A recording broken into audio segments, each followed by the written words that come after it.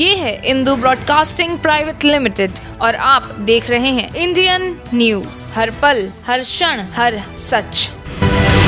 महासमुंद ज़िले के पिथौरा थाना क्षेत्र में तीन व्यापारियों के घर पर रविवार की सुबह पुलिस और साइबर सेल की संयुक्त टीम ने दबिश दी। पुलिस को सट्टे के काले कारोबार से जुड़े कैश होने की सूचना मिली थी।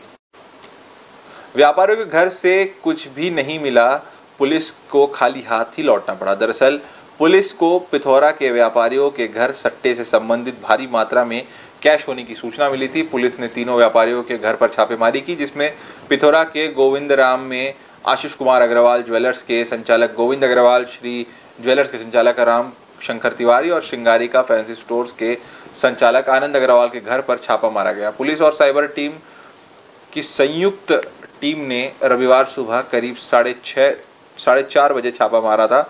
जो सुबह दस बजे तक जारी रहा रेड से जुड़े सवाल पर पूरा पुलिस महकमे ने चुप्पी साध ली है